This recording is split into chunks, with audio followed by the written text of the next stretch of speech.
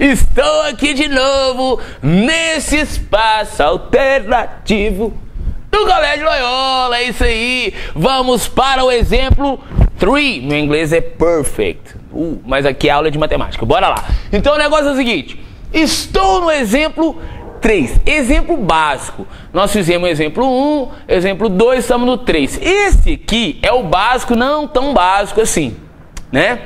Mas vamos lá, ele ainda é bem fácil.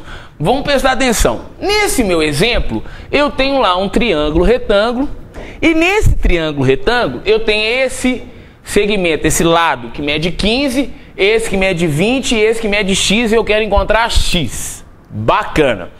Primeira coisa que você tem que fazer, perceber o que, que cada coisa aqui é, o que, que eu tenho, o que, que eu quero calcular. Então, se você perceber, esses lados que eu conheço a medida, o 15 e o 20, formam um ângulo de 90 graus.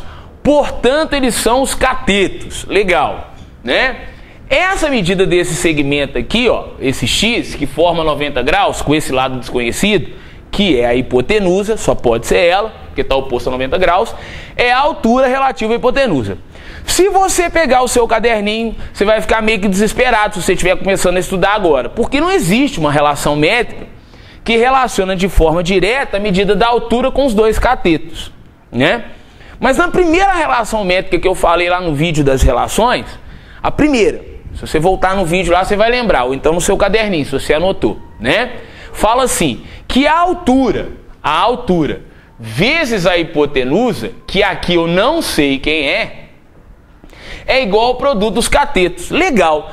Se eu tivesse a hipotenusa chanchão, eu ia ser tão feliz porque eu ia conseguir resolver o problema. Legal. Se você não tem a hipotenusa, mas tem os dois catetos, você consegue encontrar a medida da hipotenusa. Como é que faz isso mesmo, chanchão? Lembra aí, aluninho? Se você tem a medida de dois catetos e que é a hipotenusa, você tem que usar o teorema de Pitágoras. É isso mesmo. Por quê? Porque com o teorema de Pitágoras você consegue encontrar a medida da hipotenusa.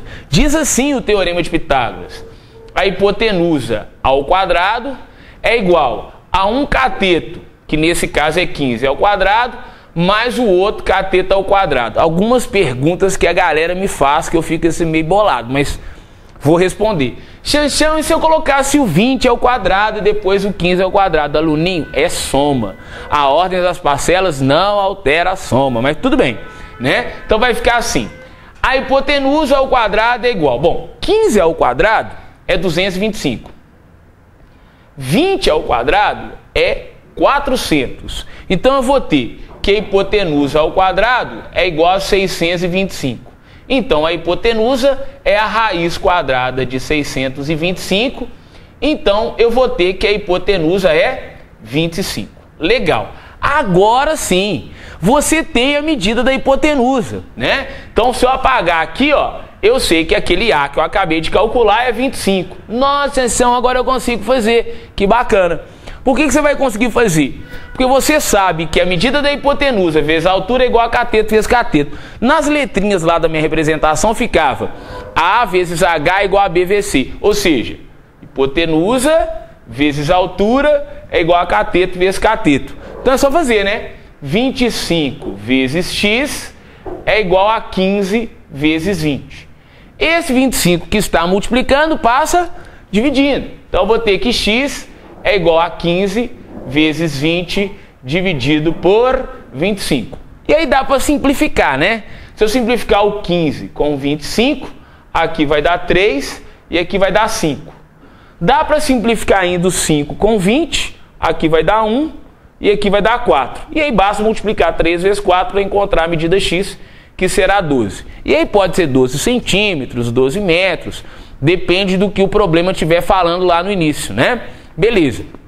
Então, usamos aqui duas relações métricas para encontrar um valor desconhecido. Isso pode acontecer, Sessão? Pode não. Vai acontecer mais um bocado de vezes, né? Mas ainda a gente está no nível 2, né? Quer dizer, nós estamos quase chegando lá onde a gente quer. Bacana, continua treinando, porque relação métrica vai cair na prova do chanchão. Faz a listinha e eu tô junto contigo.